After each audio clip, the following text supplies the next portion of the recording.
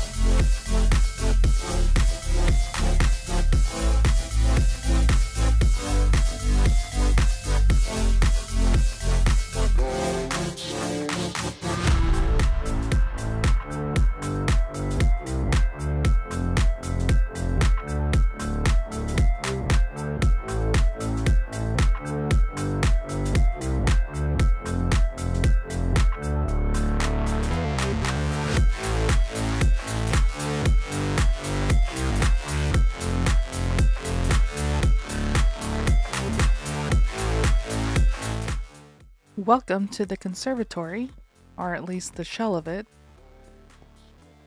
So far we've built out the bones and we'll be finishing up the inside here shortly. Now entering in through the front of the conservatory here, we have a nice rainbow arch kind of effect. I'm thinking like a Chihuly glass, uh, kind of mimicking Chihuly glass and maybe I'll probably this again isn't totally finished out but I'm thinking adding some more detail up here. Definitely the floors will get done. So maybe it will look something like this.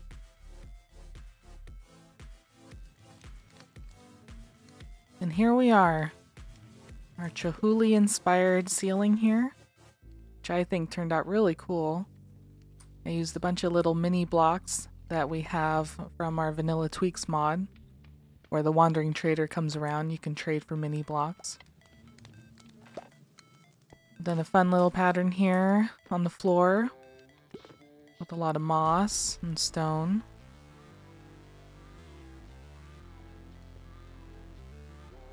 Now these side areas I'm thinking are where we'll have gardens and where we'll have our bees at so I can kind of keep them contained while keeping the feeling of a very open conservatory in the other areas and not having to have closed off doors uh, to keep the bees in. So if we can keep our bees to these little side areas, that would be great. So I'm thinking flower beds, maybe some little trees, obviously little bee nests or bee boxes probably something, well, something like this. Here's our first bee area with our gardens. We got our beehives all making honey. And the bees, you can see, they can kind of fly above to the other bee area across the way. But they are definitely contained. Unless you're not fast enough getting out of the doors here. And again, I'm thinking a similar thing as the other side on this side as well. Flowers, bees, like this. And here's our other bee area.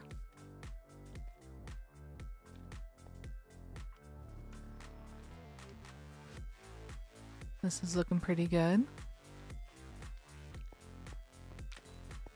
We have more beehives back here, bee boxes.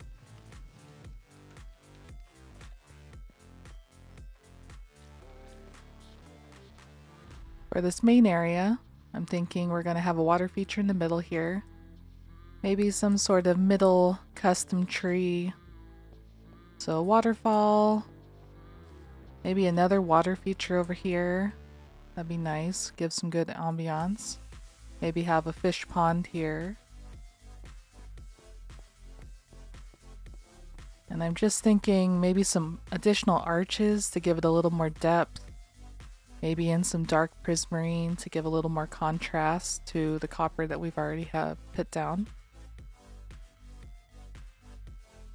And lots of greenery. I'm thinking just bushes everywhere, flowers, green color, you know, like you'd see in a very vibrant fantasy like greenhouse. And maybe, maybe it looks something like this. And here's our main area transformation. We have our tree, our water feature, I added these arches to kind of give it, I saw some inspirational art of like fantasy greenhouse conservatories that had these really beautiful arches. And so I wanted to try to replicate that here with the prismarine. Have lots of greenery hanging everywhere. The glowberries giving a nice lighting effect.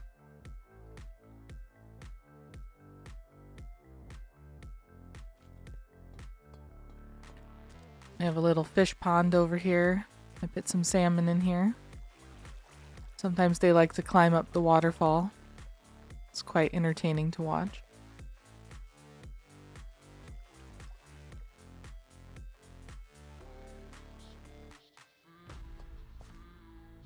I really quite like how this project turned out. It was definitely a bigger project, but I just love how vibrant it is.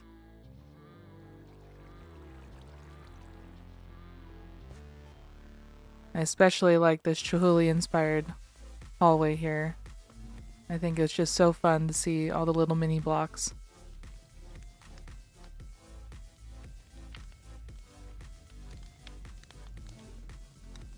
Well, that's our greenhouse for now. And our bee areas.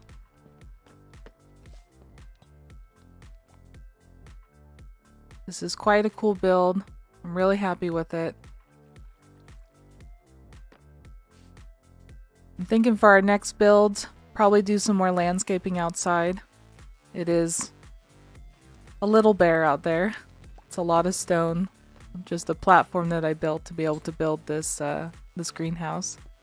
So I think we're going to do a lot more landscaping out here. And I'd also like to get a, a sheep farm built soon just because I use so much wool for the Rainbow Row um, that I'd like to get a sheep farm built over here that can get that can keep running while I'm in this area. Thanks for joining me today. If you liked the episode, give it a like. If you want to see future builds, uh, go ahead and subscribe. And I will see you in the next one. Goodbye.